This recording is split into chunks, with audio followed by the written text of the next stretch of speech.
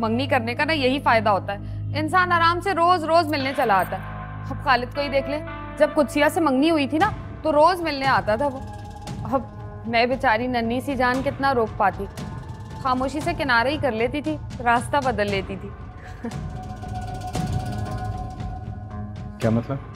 मतलब ये कि वो भी आपकी तरह प्यार मोहब्बत की बातें करना चाहता था। कभी कभी जज्बात में आके ना लाडो का हाथ भी पकड़ लेता था।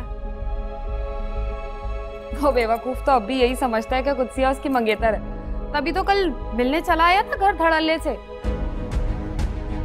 कल? क्या वो थाने से छूट गया जो कल आया था? इलियास आ गए। अरे अस्सलाम वालेकुम इब्राहिम क्या हाल है? मैं कहिए भाई कैसे आना इलियास भाई खालिद थाने से छूट गया आपने मुझे बताया नहीं। अरे भाई उसका एक रिश्तेदार है उसने जमानत करवा दी। खैर छोड़िए अब हमारा खालिद से कोई ताल्लुक नहीं। आप ये बताइए कि आप कैसे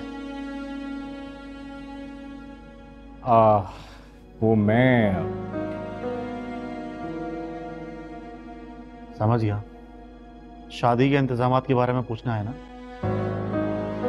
तो एक बात बता दूँ मैं आपको हम जिस काबिल भी हैं लेकिन शादी के इंतज़ाम में कोई कसर नहीं छोड़े।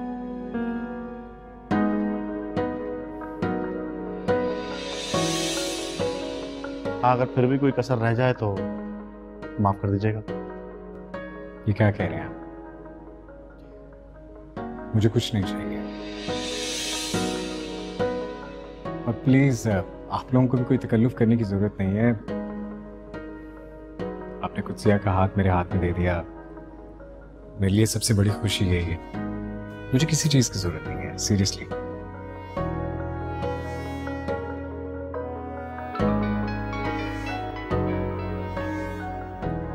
मैं जरा फ़ोन सुन लूँ। आप जी जी।